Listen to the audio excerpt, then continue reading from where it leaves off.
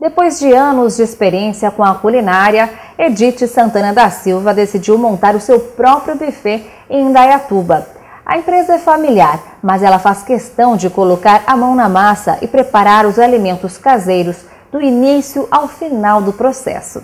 Edith Santana da Silva montou seu buffet há quatro anos, mas tem bastante experiência no ramo.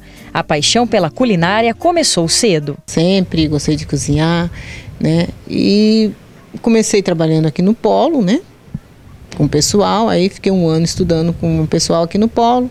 Aí logo fui trabalhar como cozinheira titular do Hotel Ibiá. Aí depois comecei a fazer os meus próprios buffets. Edith está sempre se atualizando em busca de novidades com grandes chefes de cozinha. No comecinho do ano mesmo, né, eu tive a oportunidade de trabalhar com um chefe de cozinha que veio da França, né, e aprendi novidade com ele, como expliquei um pouco das nossas coisas aqui também no Brasil, ele também ensinou um pouco de coisa nova para mim. Há várias opções de cardápio e condições para atender a todo tipo de evento, de acordo com a necessidade do cliente. A gente trabalha em cima do cardápio do cliente. A gente dá a nossa sugestão e o cliente a monta do jeito que ele quer. A equipe conta com 10 pessoas e chega a movimentar outras 20, dependendo do evento.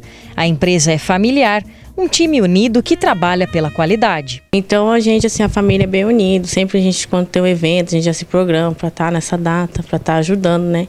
Que a gente sabe que precisa da gente estar tá trabalhando também para estar tá ajudando a Edith, né? A gente é bem cuidadoso com o buffet para tudo dar certinho, né? Para poder ter uma, assim, para a gente poder ter mais eventos, né? A divulgação do buffet foi intensificada e a intenção é de continuar crescendo. Trabalho entre família, então todos nós gostamos do que nós faz e tudo que a gente quer é expandir. E esse ano ainda a gente quer trazer uma novidade até no meio do ano a gente quer trazer uma novidade para Indaiatuba.